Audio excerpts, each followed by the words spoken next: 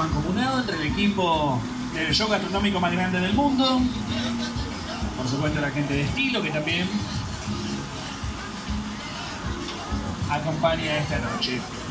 Actualizamos, quedan 40 tickets, 40 porciones disponibles para la venta, mil pesos cada una de ellas con 2,3, tómenla en cuenta. Amigas, amigos, teléfonos preparados, cámaras preparadas.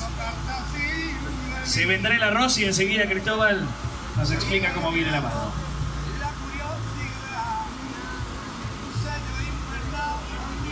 Hola, bueno, este es el último ingrediente que incorporamos importante, aunque después vamos a seguir agregando mariscos.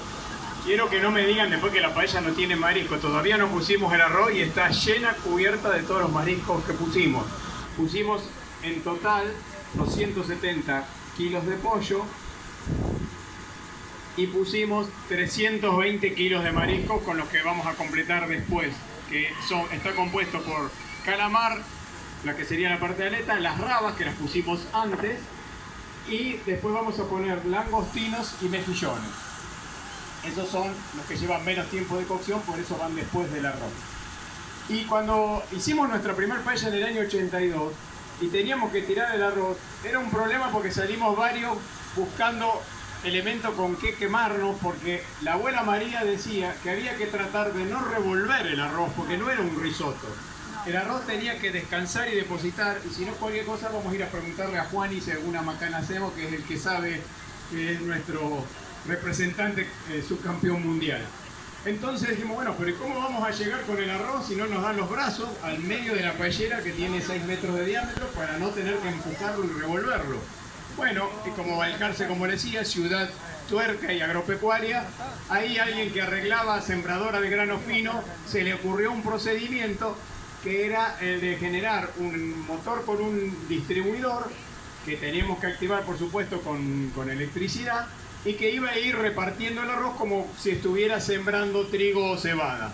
Y ese dispositivo es el que generó ese envase, el envase de arroz más grande del mundo y que ahí tenemos registrado a nuestro nombre en, el registro de marcas y patentes como el show gastronómico más grande del mundo. Por supuesto esto era muy simpático, salvo para los que lo tenemos que cargar y descargar, que digo, si no necesitábamos tanto tarro, ¿por qué no hacíamos uno más chico? Pero bueno, forma parte del show. Así que ahora el centro de, la paellera se va a llenar con el arroz que distribuye nuestro envase gigante y los alrededores de la paella los vamos a agregar desde el borde con unos este, cajones de arroz que tenemos complementarios. Y ya entonces si nos vamos acomodando para, para el final de este show, le decimos, voy a ir caminando un poquito, que sobre este lado van a comer las personas que les vamos a entregar la porción de paella y también le vamos a entregar el tenedor, el cuchillo para cortar el pollo, por supuesto, y los, mariscos, los que quieran. Y también sobre esta parte le vamos a entregar el pan y una servilleta. Perfecto. Y para que no se junten, no se mezclen, y lo que tienen que hacer es no agolparse porque hay para todos y es rápido.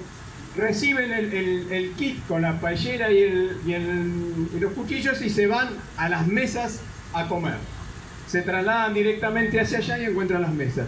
Y los que tienen para llevar, donde se las vamos a entregar sin cubiertos, pero con una tapita lista para llevar a la casa, vamos a hacer dos kioscos, uno enfrente de cada una de estas mamparas. Aquí va a haber un lugar y aquí otro. También van a recibir su, su paella, tienen ahí un brete para salir y van a salir rápidamente. No se pongan ansiosos porque hemos repartido a veces paellas para 5.000 y para 10.000 en la de 10.000 tardamos una hora y 40 minutos, así que esta de 1.000 nos tenemos que tardar media hora para que el último se lleve su porción, así que les pido que se tranquilicen, que va a haber para todos, y en realidad al que le toca un poquito después el arroz, que es un secante, va tomando más sabor, hasta es más sabrosa la que van a recibir último que la que reciben primero, porque el arroz sigue haciendo su trabajo con todos estos ingredientes que conforman el gusto de la paella. Así que bueno, esa es la visión. Los que quieren ir para llevar se van agrupando para aquel sector. Los que quieren comer esta noche acá, entonces se van a agrupar en este sector y ahí entonces vamos a entregar la paella. Así que bueno, vamos a arrancar entonces con el arroz. ¿Cuántos kilos hay de arroz ahí, Cristóbal? Hay 115 kilos de arroz. Ahí está.